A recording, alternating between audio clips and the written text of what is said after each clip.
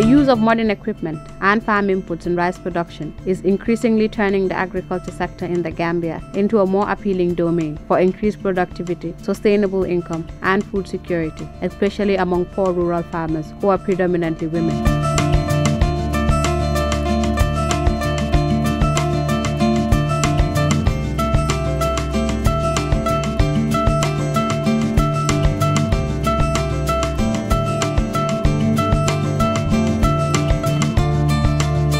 Thanks to the Ministry of Agriculture's Nema Chosso project, which seeks to reduce poverty of rural women and youth, especially smallholder farmers, by developing both rice and vegetable value chains using a holistic and integrated approach.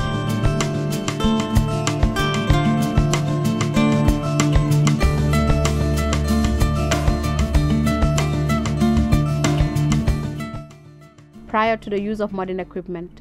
many rice farmers worked extensive hours and under grueling conditions, mainly because the majority of them didn't have access to the right equipment and machinery to clear and plow farmlands, plant, transplant, and harvest crops, or thresh and bag harvested rice. These arduous tasks, performed by hand, often contributed to late planting of crops and low productivity,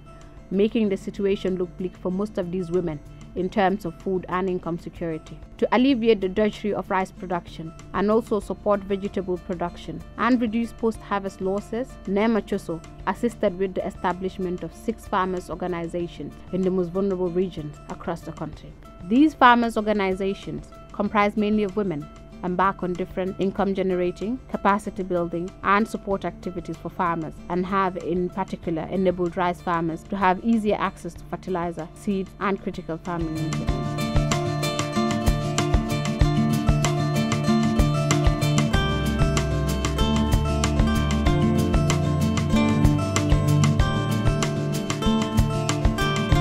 Their shift to using modern equipment and farm inputs such as tractors, rice transplanters, and combined harvesters has drastically reduced the physical burden of rice producers and cut down the number of hours they spend clearing, plowing, planting, harvesting, threshing, and bagging their crops. Each farmers organization has acquired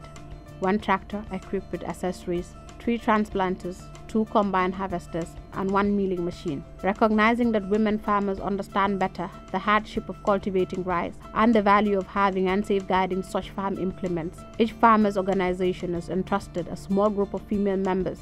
with the management and upkeep of their respective farm machinery. To ensure their proper use, selected farmers organization members, the majority of who are women, have been trained to operate the different machines. With investments in modern equipment and farm inputs such as these machinery, under the care of women farmers,